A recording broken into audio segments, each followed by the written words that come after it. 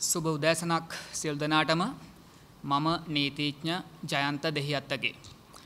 අපි මේ මොහොතේ පසු කරමින් ඉන්නේ ඊ타මාත්ම තීරණාත්මක කාල පරිච්ඡේදයක්. මේක ඊ타මාත්ම තීරණාත්මක මොහොතක් මේ රටේ ජනතාවට මේ රටේ අනාගතය සම්බන්ධයෙන්.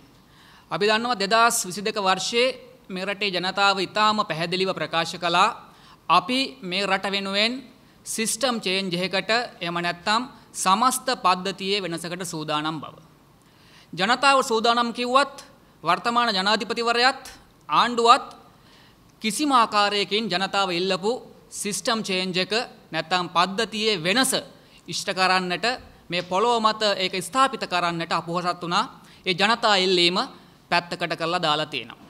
ඒ නිසා අපිට අවශ්‍යයි අපේ සමස්ත දේශපාලන ක්‍රමයේ වෙනසක්. අපි දන්නවා ප්‍රජාතන්ත්‍රවාදී රටක් විදිහට අපි අපිව හඳුනා ගන්නවා. නමුත් ඇත්තටම මේ රටේ ජනතාවට ප්‍රජාතන්ත්‍රවාදය ඔස්සේ පාලනයට සම්බන්ධ වෙන්න පැහැදිලි ඉඩකඩක් ලැබිලා තියෙනවද කියන ප්‍රශ්නය අපි කල්පනා කරලා බලන්න ඕන ප්‍රශ්නයක්. නිසා ප්‍රජාතන්ත්‍රවාදය වෙනමම තියෙනවා ජනතාව වෙන පැත්තක ඉන්නවා. ඒ නිසා ඇත්තටම මේ මහ පොළොව මත ජනතාවගේ පාලනයක් ස්ථාපිත කරන්න අවශ්‍යයි. ඒ පාලන වෙනස වෙනුවෙන් මේ වෙද්දී මේ රටේ ජනතාව පෙළ ගැහිලා ඉන්නවා.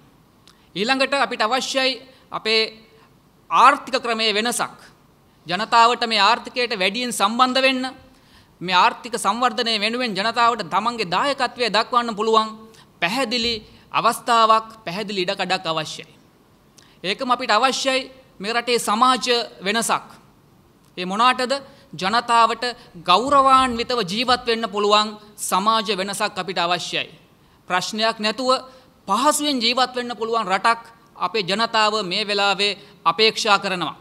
ඉතින් මේ කියන සමාජ නැතම් පාලනමය වශයෙන් අපි අපේක්ෂා කරන වෙනස ආර්ථික වෙනස මේ සමාජමය වෙනස ලබා දෙන්න පුළුවන් අපේක්ෂකයා කවුද මේ වෙලාවේ කියන එක අපි කල්පනා කරලා බලන්න ඕන. අපි දන්නවා මේ සමාජ වෙනස වෙනුවෙන් අඩු වැඩි වශයෙන් මේ රටේ ජනතාව විවිධ අවස්ථාවල ඡන්දය පාවිච්චි කරලා තියෙනවා. නමුත් පත්වෙච්චි කිසිම ජනාධිපතිවරයෙකුට හැකියාවක් ලැබිලා නැහැ. ජනතාව ඉල්ලා හිටපු වෙනස පැහැදිලිව මේ පොළොව මත ස්ථාපිත කරන්න ඇති කරන්න. එහෙනම් අනුර කුමාර දිසානායක මහත්මයා දේශපාලන අධිෂ්ඨානයක් පෙන්වලා තිබෙනවා. අනුර කුමාර සහෝදරයා දේශපාලන අභිලාෂයක් පෙන්වලා තිබෙනවා. දැඩි කැපවීමක් පෙන්වලා තිබෙනවා. අපි බලාපොරොත්තු වෙන වෙනස මේ සමාජය තුළ මේ රට තුළ ස්ථාපිත කරන්න හැකියාව ඔහුට තිබෙන බවට. එනිසා අපි දන්නවා සැප්තැම්බර් විසියෙක් වෙන්දා මෙරටේ ජනාධිපතිවරණය පැවැත්වෙන්න නියමිතයි. ඉතින් මේ ජනාධිපතිවරණයේදී අනුරකුමාර දිසානායක සහෝදරයට ලබා දෙන ඡන්දය අපි විශ්වාස කරනවා පැහැදිලියව මේ රටේ දේශපාලන සංස්කෘතියේ පැහැදිලි වෙනසක් වෙනුවෙන් ලබා දෙන ඡන්දයක් කියලා.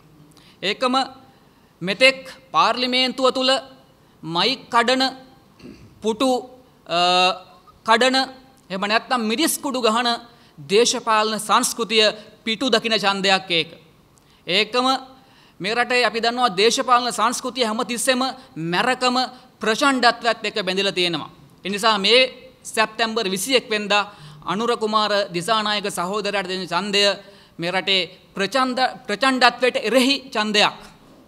මේ රටේ තුල පැහැදිලි දේශපාලන සංස්කෘතියක් අපි හැමෝටම එකක වෙන්න පුළුවන් දේශපාලන සංස්කෘතියක් සහ ප්‍රජාතන්ත්‍රවාදී ස්ථාපිත කරන දේශපාලන සංස්කෘතියක් වෙනුවෙන් ලබා දෙන ඡන්දයක්.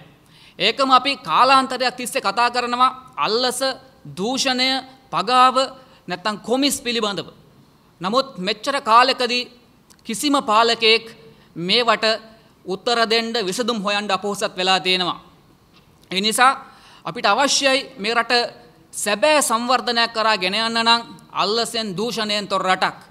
ජාතික ජනබලවේගය ඉතිහාසය පුරාවටම ඒ අරමුණ වෙනුවෙන් තමන්ගේ දායකත්වය කැපවීම ඉතාම පැහැදිලිව ඉස්මතු කරලා තිබෙන දේශපාලන ව්‍යාපාරයක්.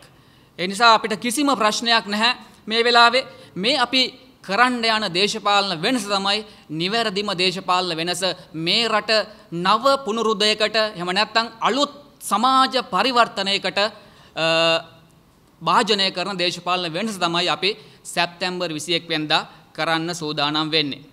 ඉතින් ඒකම අපි දන්නවා දැන් මේ වෙද්දී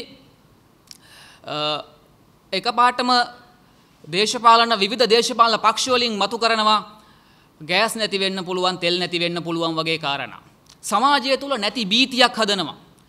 ප්‍රචණ්ඩත්වය ඇති වෙන්න පුළුවන් කියලා නැති බීතියක් සමාජය තුළ නිර්මාණය කරමින් ඉන්නවා. මහිතන්නේ ඒ සියලු දේශපාලන ප්‍රවාහයන් දැනටමත් ඔවුන්ගේ පරාජය බාරාරගෙන තියෙනවා. එනිසා තමයි කිසිම පදනමක් නැති අනියත බියක් සමාජය තුළ ඇති කරමින් ජාතික ජනබලවේගය යම් ආකාරයකට අධර්මත් කරන්න වුණු උත්සාහ කරන්නේ. නමුත් අපි දන්නවා මේ රටේ ජනතාව තවදුරටත් මේ සාම්ප්‍රදායික දේශපාලන ව්‍යාපාරවල රැවටීම් වලට වලට තවදුරටත් ලක් වෙන්නේ නැහැ කියන එක.